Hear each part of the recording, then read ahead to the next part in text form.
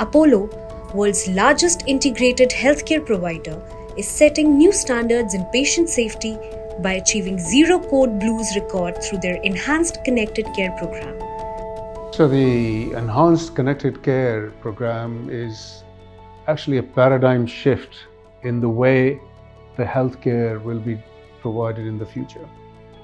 The reason why we thought about this program was because we know that the critically ill patients, and we know this from our COVID experience, they don't just confine themselves to the critical care units in the hospitals.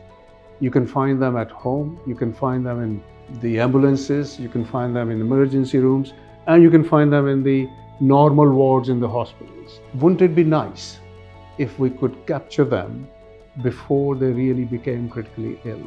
And that's the vision of this program. Pan Apollo, we are going to be monitoring our patients 24 7 round the clock. With that objective and intent, we are looking for all technologies available in the world and we come across with enhanced care which has brought down the codes significantly almost about in the last 200 days I have a zero code blues which is significant. When we take the patient on board we will will connect the devices and we'll set the baselines and we record those things. And those vitals whether it is heart rate blood pressure saturation respiratory rate and all those things are lively monitored in the nursing station. If we didn't have uh, these sensor sheets under the bed, uh, bed coverings, or if we didn't have the, the patches that go on patients' chests, if we didn't have the technology to transmit that data into the cloud and then capture it on nursing stations and in the command centers, if we didn't have this kind of connectivity, which is what technology has provided us, we wouldn't be nowhere, you know, we wouldn't be able to start. We'd still be doing what we have been doing this device actually helped each nurses to save their one hour of time in each shift.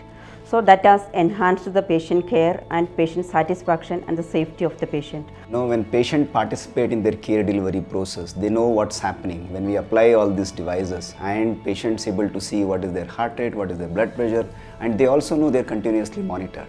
When they're continuously monitored, naturally they know like you know someone is looking and monitoring me and also like you know with their involvement, their confidence and their satisfaction level always keep increasing. Uh, we are covering now at least uh, at least 15 to 17 hospitals uh, out of our 70 hospitals. We only started six months ago, and the plan is to cover at least 40 hospitals by the end of this year. Now that technology gives us the chance of making safe care even safer, why not?